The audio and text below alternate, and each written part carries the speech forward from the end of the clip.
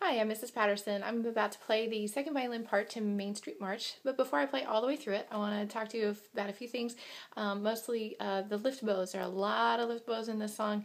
Every time you see a comma, that's a, tell, a reminder just to uh, lift the bow because um, you're going to be starting down bow and then replacing the bow to get ready for another down bow. Okay, so that happens right away from the very beginning. Um, and right there in measure three, there's a comma that's a reminder to lift the bow and um, reset for the next down bow. That happens all the way through the piece, and I'll be talking you through that as I play it.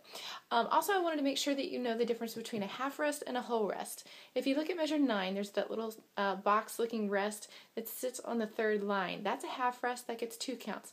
But in the next measure, you see the little box thingy is hanging from the fourth line. That's a whole rest that gets four beats of silence. So you do have to count those so you know exactly when to come in and measure 11. Otherwise, you'd be early and you might have a solo that you didn't mean to have. Okay, also I wanted to talk about the fortes and pianos. F stands for forte, which means to play loud, and the P stands for piano, which means to play softly. If you look at measure 33, there's both. It says F dash P. What that means is the first time uh, through you play forte loud, and then on the repeat, the second time you play piano, soft.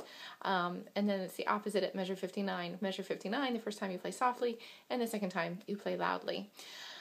Um, yeah, so watch for the first and second endings between uh, measures 33 and 40. You repeat back to 33, and the second time you jump to the, to where it says 2 at measure 41. You don't play measures 39 and 40 again. You would jump to measure 41, and I'll talk you through that as we play. All right, let's start from the beginning.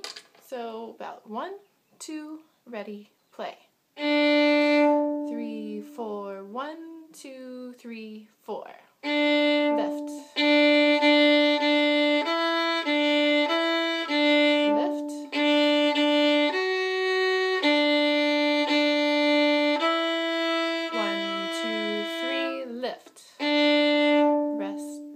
One, two, three, four.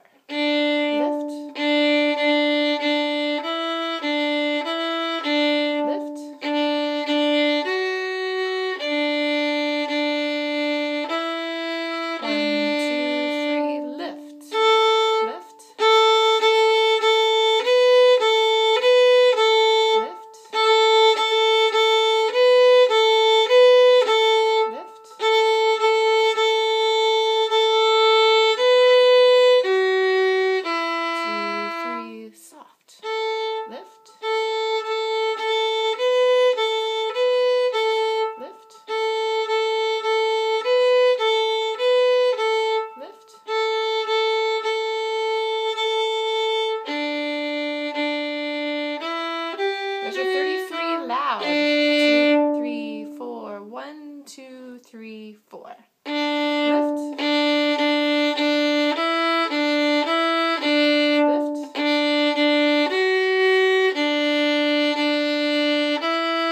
One, two, three. Repeat soft. Two, three, four. One, two, three, four.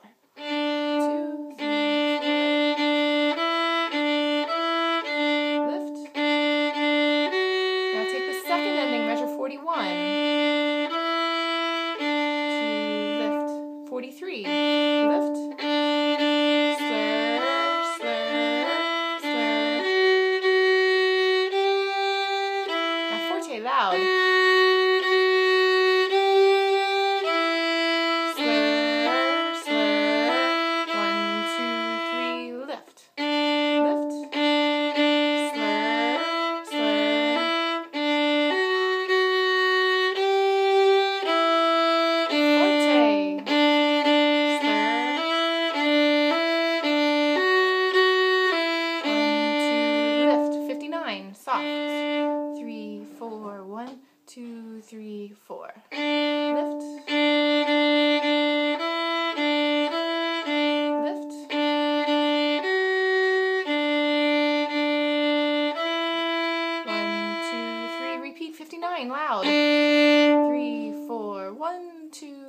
three, four.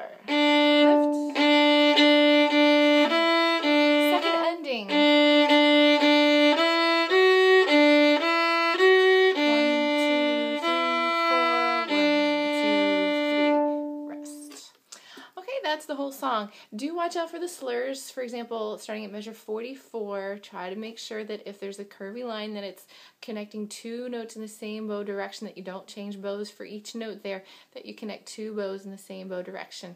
Make sure you're doing the slurs. All right, that's a pretty easy one. Hopefully that won't take too much work and we'll see you soon at rehearsal.